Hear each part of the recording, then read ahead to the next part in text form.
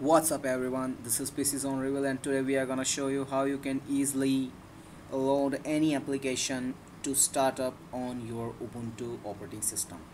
Uh, basically now uh, we have some login screen and some predefined applications that we can easily get on our start screen when we load our Ubuntu operating system and now today we are gonna learn how you can easily customize your own application to load it on your Ubuntu system.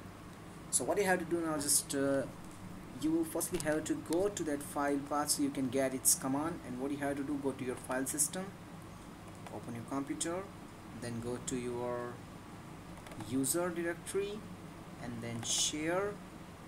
And here go to applications. And we have here a number of applications that we are having. You can choose any one application just like uh, if I want to load my Firefox web browser too I'm not doing that. But if uh, I just want to now load my YouTube on my startup so what am I gonna do? I will just right click on it and then I'm going for properties. And then here you can see description and command and comment. So we have command tab I'll just copy this control C or whether you can right click and hit copy. Close it and now on your startup just write uh, startup applications. Hit on that. And now you can see some options here. What are you gonna do now add put it on some name like uh, YouTube.